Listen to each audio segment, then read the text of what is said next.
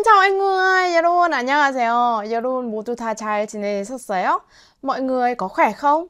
여러분 오늘도 수업 준비되세요? 그럼 바로 수업 시작해 볼까요? 첫 번째 단어 같이 보세요. 첫 번째 단어는 더어입니다. 더어는 한국어로 해석하면 남다 단어입니다. 여러분 따라 읽어보세요. 더어, 더어, 더어. 더는 보통 필요한 수준의 이상의 더 많은 수량을 더 많을 아니면 타슨 후에 남는 것들도 더 사용할 수 있어요. 그러면 첫 번째 질문 같이 보세요. 너에게 남는 핸드폰이 있어? 나에게 줘. 베트남어로 어떻게 말해요? 여러분 도전해 보세요. 네, 따라 읽어보세요. Bạn có thừa cái điện thoại nào không? Cho mình đi. 한번 더. Bạn có thừa cái điện thoại nào không? Cho mình đi. 음. bạn 너는 có 여기는 있다예요. có không? 있어요? cái điện thoại 여기는 휴대폰이에요. có thừa cái điện thoại nào không? 명사구예요. 남는 휴대폰이 있어요? 있으면 나 줘. cho mình đi. cho 여기는 주다예요. 리 명령 문장 표현이에요. 뭐뭐 하세요, 뭐뭐 해라 라는 뜻이에요.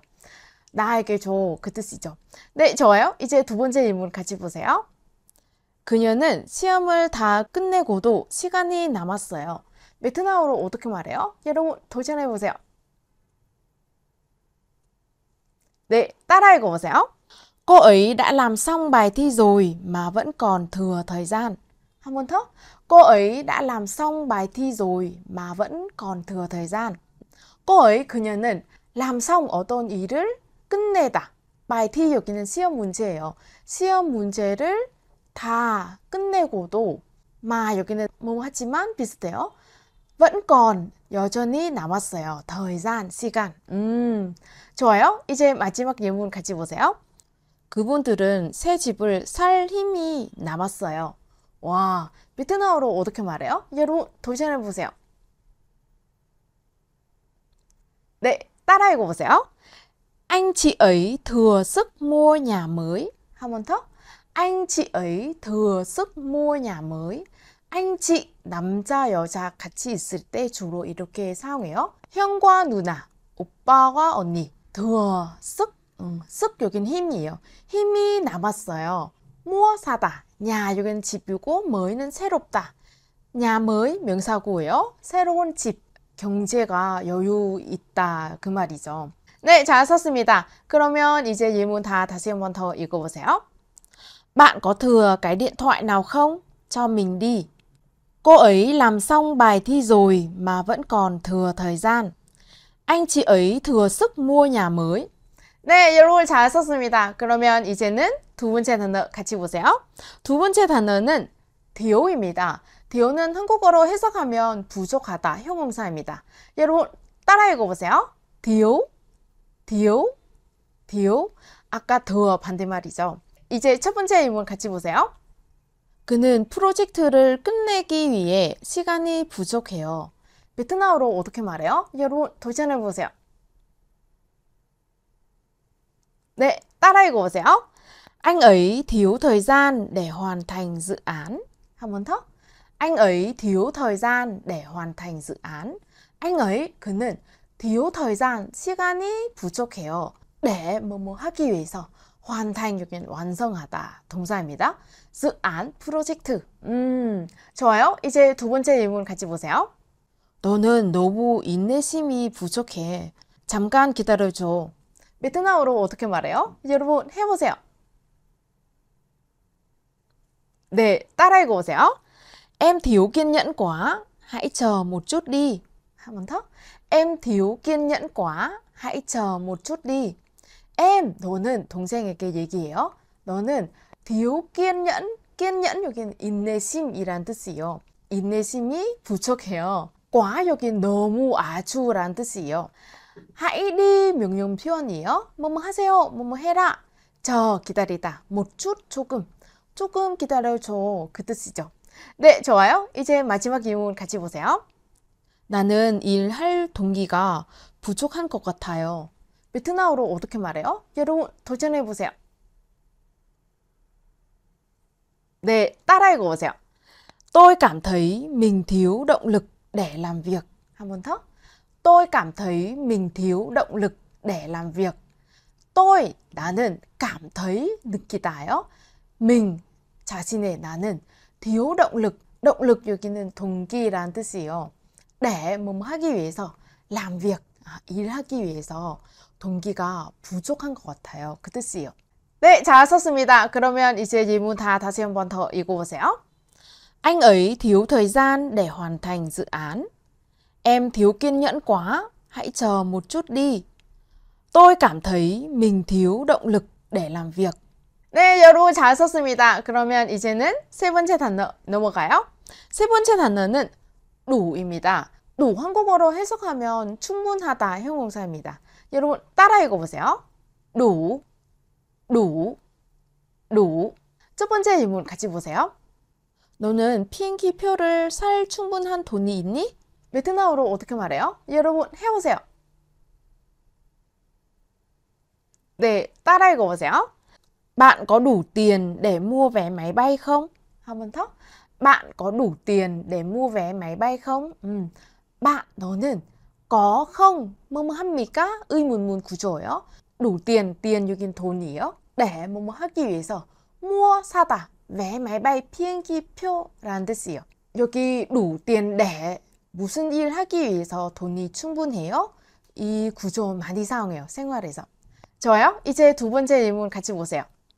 회의에 필요한 자료를 충분히 준비했나요? 베트남어로 어떻게 말해요? 여러분 해보세요. 네, 따라 읽어보세요. Bạn đã chuẩn bị đủ tài liệu cho cuộc họp chưa? 한번 더. Bạn đã chuẩn bị đủ tài liệu cho cuộc họp chưa? bạn 너는 đã chưa 뭐뭐 했어요? chuẩn 준비하다. đủ tài tài 여기는 자료라는 뜻이에요. cho cuộc họp 회의에 음, cuộc họp 여기는 회의예요. 좋아요? 이제 마지막 예문 같이 보세요. 충분해. 더 이상 말하지 마.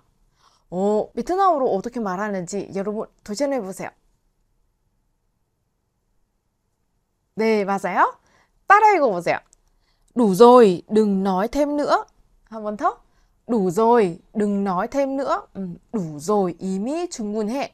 여기 đừng nữa 세트예요. 뭐뭐 하지 말다. nói 말하다.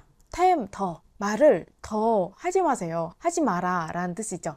네, 좋아요. 여러분, 그러면 이제 예문 다 다시 한번 더 읽어볼까요? Bạn có đủ tiền để mua vé máy bay không?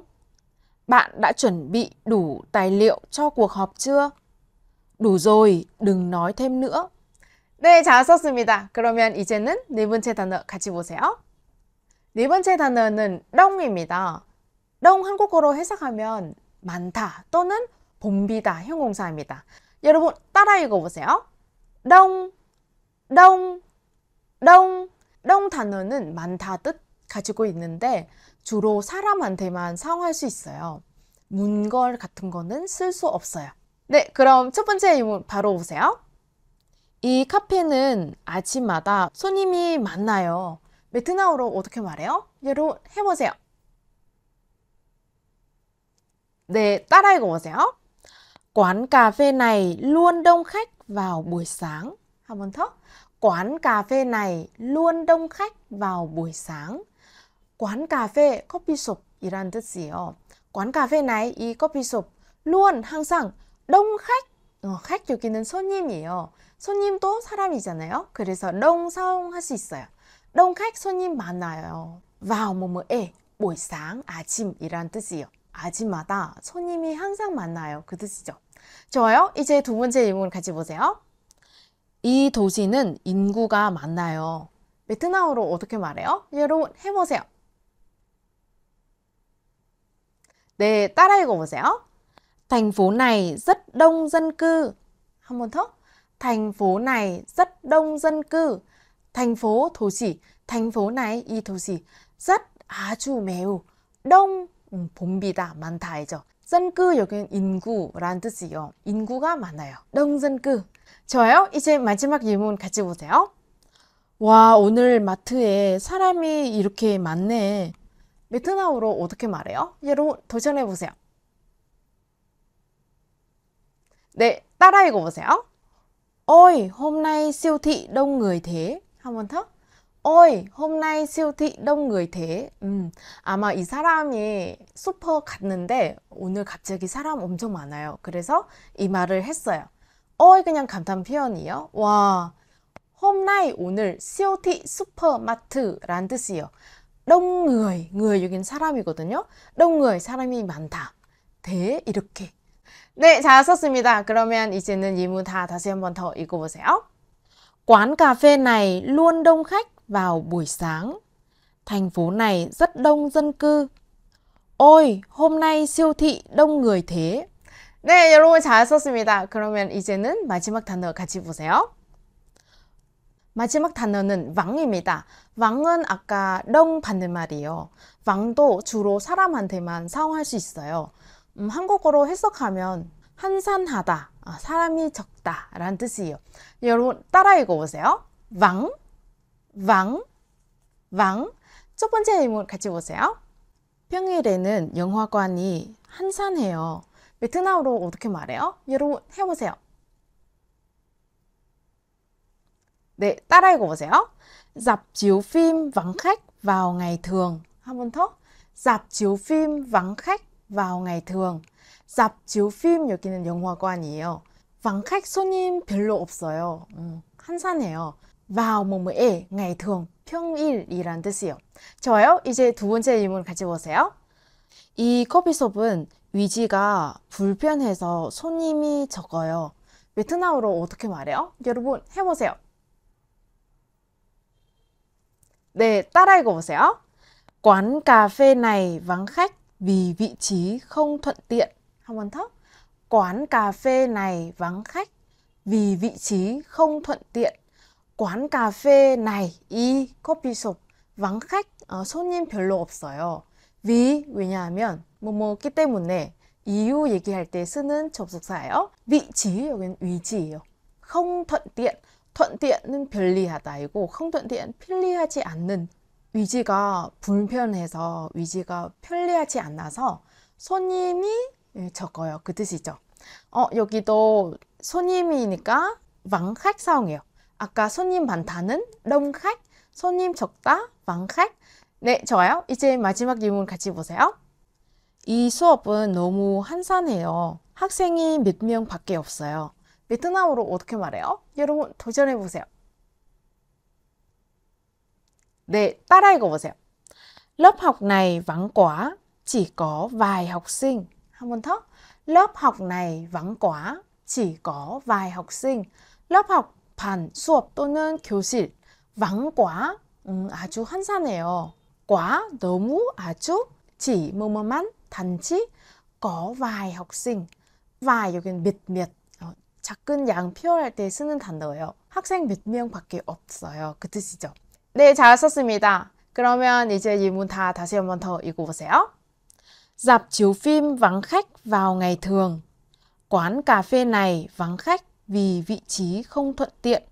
lớp học này vắng quá, chỉ có vài học sinh. 네, 잘 썼습니다. 여러분, 그러면 수업 끝나기 전에 우리 한 번 더 복습해 볼까요? 첫 번째 단어, 남다. 뭐라고 해요? 네, thừa, thừa. 반대만 부족하다. 음, thiếu, thiếu. 충분하다. đủ, đủ. 많다, 봄비다. đông. 한산하다, 적다. 네, 왕, 왕. 여러분 단어 đông 하고 왕은 주로 사람한테만 사용할 수 있어요. 음, 물건 같은 거는 쓸 수 없어요. 여러분 기억하세요? 네, 여러분 오늘도 열심히 공부하셨어요. 그러면 오늘의 배운 단어들은 열심히 공부하고 생활에서 많이 사용할 수 있으면 좋겠어요. 그럼 오늘 수업 여기까지 마치고 다음 시간에 또 만나요. cảm ơn mọi người. Hẹn. you